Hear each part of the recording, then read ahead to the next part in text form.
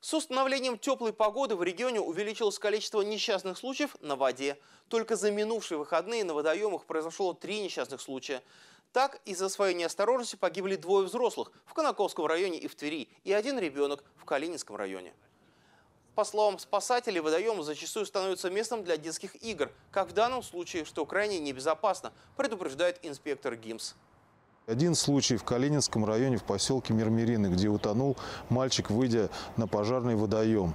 Причем э, два других парня пытались помочь ему и спасти его, однако сами провалились. И уже очевидцами э, была им оказана помощь по извлечению из воды. Родителям в обязательном порядке нужно э, не отпускать одних детей к водоемам. Сейчас самое опасное время. Где-то еще может быть по реке плыть льдины, где-то лед еще остался на закрайках. Можно с этого льда просто ноги могут соскользнуть и человек оказаться в холодной воде.